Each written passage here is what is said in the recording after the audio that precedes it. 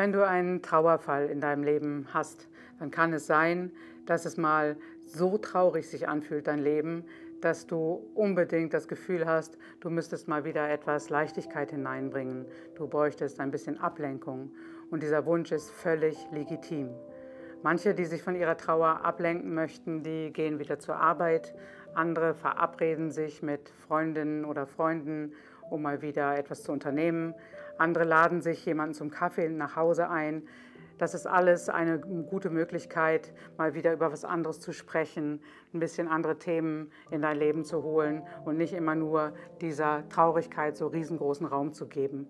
Denn wenn du 24-7 nur mit dir alleine bist und deine Taschentücher voll heulst und ins Kissen haust und einfach nur traurig bist und nur äh, ein Gefühl hast, dein ganzes Leben ist dunkel und da gibt es nichts Positives mehr, dann ist es wichtig, auch mal diese andere Seite wieder zum Klingen zu bringen.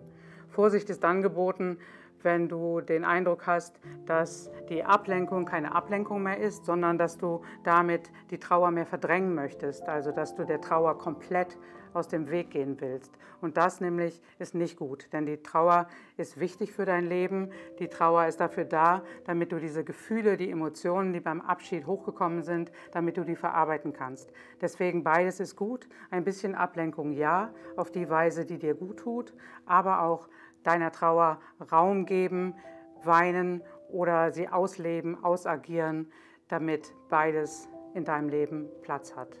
Kennst du das vielleicht auch? Hast du schon mal einen Trauerfall gehabt, wo du das Gefühl hattest, du wolltest dich gerne ablenken? Oder kennst du jemanden, bei dem du den Eindruck hattest, der oder die hat die Trauer eigentlich mehr verdrängt? Dann fände ich es schön, wenn wir uns darüber austauschen könnten. Also schreib gerne in die Kommentare und lass uns darüber sprechen, denn Trauer Raum zu geben, das ist unsere Aufgabe und dafür bin ich da.